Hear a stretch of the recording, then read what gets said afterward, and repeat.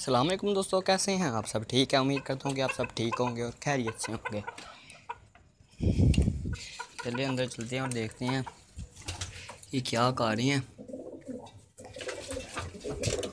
एक minute, bulb light on कर दूँ। ये सारे मस्ती खा रहे हैं यहाँ पे। ये रहा वो।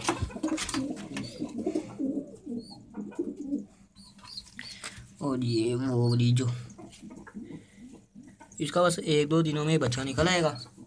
और ये और ये ये जोड़ा बन चुका है। जैसे कि मैंने आपको कहा था कि जोड़ा है भी ये थोड़े दिन तक अंडे दे देगा। और एक और जोड़ा था, जो मैंने आपको बताया था कि ये भी थोड़े दिन तक अंडे देगा।